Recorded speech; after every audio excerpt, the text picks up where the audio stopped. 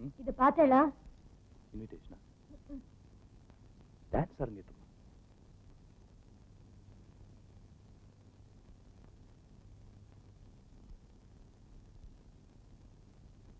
அழகா இருக்குல்ல பாப்பா? யாரு? என் சிநேகிதியோட பொண்ணு. நமக்கு கல்யாணமான நாலாம் மாசம் அவளுக்கு கல்யாணம் ஆச்சு. இப்ப பொண்ணுக்கு அரங்கேற்றம் பண்ண போறாளாம். பெரிய பீத்தல பத்திரிக்கை அனுப்பிச்சிருக்கா. இதுல பீச்சிக்கிறதுக்கு என்ன இருக்கு? கல்யாணத்துக்கு முன்னாடி நான் தான் அடிக்கடி சொல்லுவேன். எனக்கு பொண்ணு பிறந்ததும் அவளுக்கு டான்ஸ் கத்து கொடுத்து அரங்கேற்றம் பண்ணுவேன்னு. சொன்னது நான் செஞ்சு காட்ட போறது அவ. கவலைப்படாத கங்கா.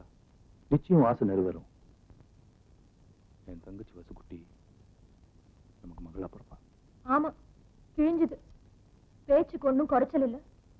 நீங்க நடந்துக்கிறத நினைச்சு பாக்குறப்போ எதுவும் பலிக்க போறதா எனக்கு தோணல.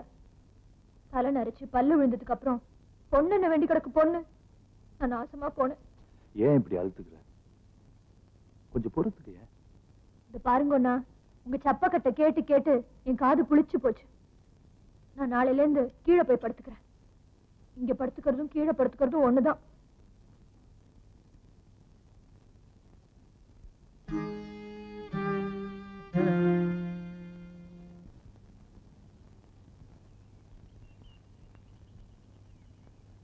தியாகம்.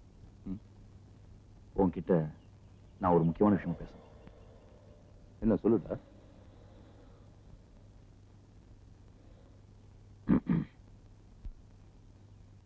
ஏய்.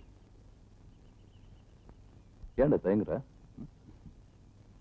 ஆபீஸ் வேலையா? என்ன பிலிப்பைன்ஸ் போக சொல்லியிருக்கேன் ஓ கிரேட் கங்க்ராட்ஸ் எவ்வளவு நாளைக்கு? At the most one year ஒரு வருஷமா?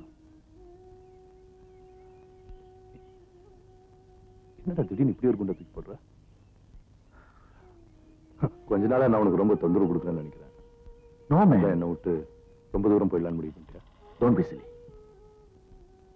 உன்னை ஒரு தொந்தரவு நினைச்சிருந்தா நீ பழைய தியாகமா மாறணும்னு நான் இவ்வளவு பாடுபட்டு மாட்டேன். அது நிஜம்னா ஆபீஸ்ல சொல்லி பிலிப்பைன்ஸ்க்கு வேற யாரையும் சொல்லு. டோன்ட் மிஸ்டேக் மீ அது என்னமோ நீ போறேன்னு சொல்லும்போது எனக்கு ரொம்ப பயமா இருக்கு உன் பயத்தை என்னால புரிஞ்சு முடியுது ஆனா நீ பயப்பட வேண்டிய தேவையில்லை. இப்ப நீ பழைய தியாகம் இல்ல புது தியாகம். உனக்கு தன்னம்பிக்கை தைரியம் எல்லாம் வந்ததுனால தான் உன்னால குடி நிறுத்த முடிஞ்சது. ரைட் இப்போ உனக்கு யாரோட உதவியும் தேவையில்லை. உன் சொந்த கல்ல நிக்க ஆரம்பிச்சிட்ட இதெல்லாம் நான் என்னோட வெளிநாட்டு ப்ரோக்ராமை கேன்சல் பண்ண முடியாதுன்றதுக்காக சொல்றேன்னு மட்டும் நினைக்காத. தியாகு உனக்கு உன் மேல் நம்பிக்கை இல்லைனா நான் இல்லாம நீ தனியா வாழ முடியாதுன்னு ஃபீல் பண்ணா நான் என்னோட வெளிநாட்டு பயணத்தை கேன்சல் பண்ணிடுவேன் ஐம் சாரி நானா. திடீர்னு நியூஸ் கேட்டோன்னு என்ன தெரியாம ஏதோ சொல்லிட்டேன். லைஃப்ல எல்லாருக்கும் இந்த மாதிரி chance கிடைக்காதுல்ல? I'm really proud of you man என்னுடைய சுயநலத்துக்காக நான் உன்னை போக வேண்டாம்னு சொன்னா அப்புறம் நம்ம ஸ்நேகத்துக்கு அர்த்தமே எல்லாம் போயிடும்.